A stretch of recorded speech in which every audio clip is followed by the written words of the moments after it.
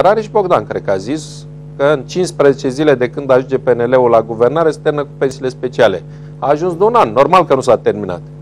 Domnul Ciolacu a făcut altă șmecherie, că a zis, domne, stați așa că eu pun pe ordinea de zi, dar dacă banii se duc la copii, Marcel, pune pe ordinea de zi aia cu pensiile parlamentarilor. Că de fapt de acolo e lumea supărată. Pune-o pe aia cu pensiile parlamentarilor, probabil că nu o votează pe sediștii, că de-aia n-a pus-o domnul Ciolacu pe ordinea de zi, că știa că nu o votează pe sediștii. Uh, dar la o votăm noi toți ceilalți și trece și închidem un subiect. Nu se rezolvă nici asta, măcar să se rezolve în următorul Parlament.